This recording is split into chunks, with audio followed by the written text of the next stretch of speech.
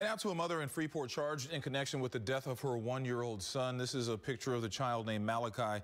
Investigators found synthetic marijuana in the baby's system. Channel 2 Syan Rhodes live in Freeport with what else investigators found out. Syan.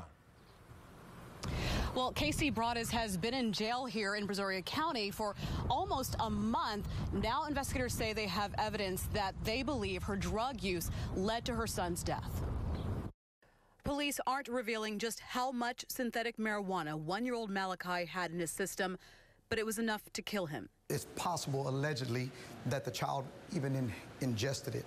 Investigators say his mother, 23 year old Casey Broadus, appeared intoxicated when they responded to her 911 call from this house last October. Also, reason to believe that the mother was intoxicated at the time based on her behavior and, and, and her features and, and, just some of the uh, comments that she was making. Synthetic marijuana found at the scene had the same chemical makeup as the drug that was in the baby's bloodstream. Now his mother sits behind bars charged in connection with his death. If you make narcotics, drugs, synthetic marijuana, cocaine accessible to a child and it, it possibly leads to their death, we're going to charge you with it.